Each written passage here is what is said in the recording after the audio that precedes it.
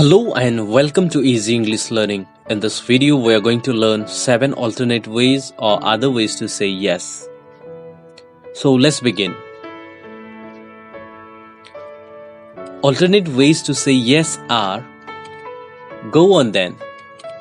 If you insist, Absolutely. Works for me. I'm in. Sure. Of course. Now let us learn each of them one by one with examples. 1. Go on then. When someone requests and you say yes, you can use go on then. Example Go on then, I'll work for you. Now, second word is if you insist.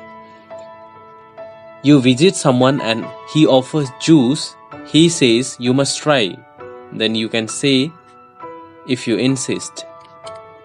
Another glass of juice if you insist. Now, third word is absolutely.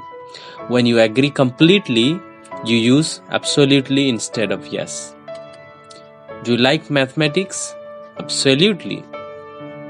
Now, fourth word is works for me.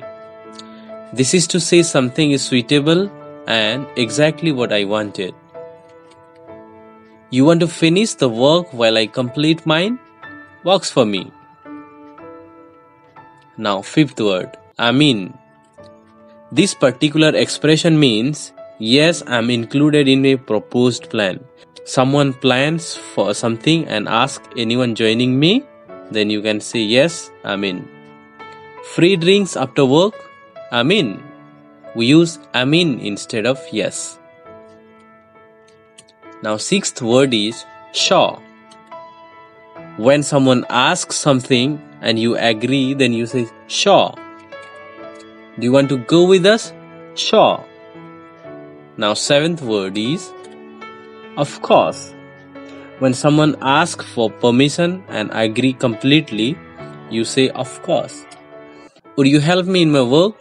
Of course. Thank you for watching this video. For more such learning videos, subscribe on Easy English Learning channel. And if you like the video, then hit on like button and share with your friends.